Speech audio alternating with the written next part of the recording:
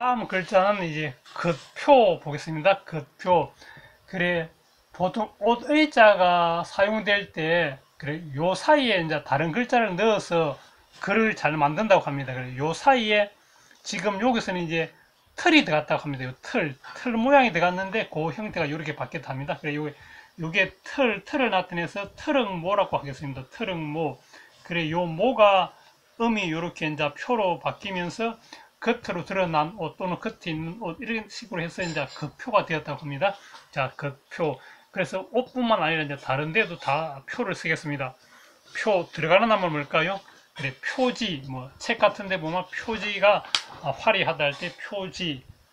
그래, 또는 어, 어, 표출하다, 의견을 표출하다 할 때 겉으로 드러내다 할 때 그래, 그 표 쓰겠습니다.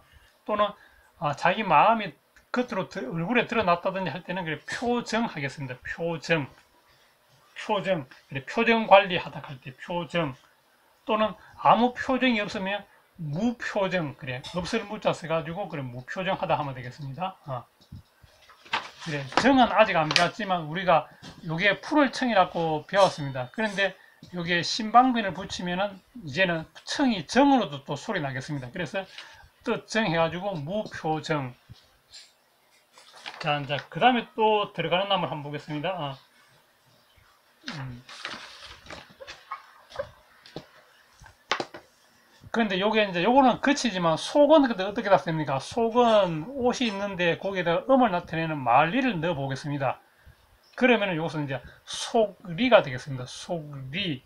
그래서 표리 같으면 이제 겉과 속. 그런데 겉과 속이 이제 같지 않으면은 어, 아닐 불 한 가지 동 어, 같을 정도 되니까 표리 불동이지만 디귿 지읒 앞에서는 비읍 어, 리, 어, 리을이 소리 안 나니까 그래 부동 표리 부동 그 겉과 속이 같지 않다. 그래 겉과 속이 다른 사람을 표리 부동한 사람이라 이렇게 말한다 합니다.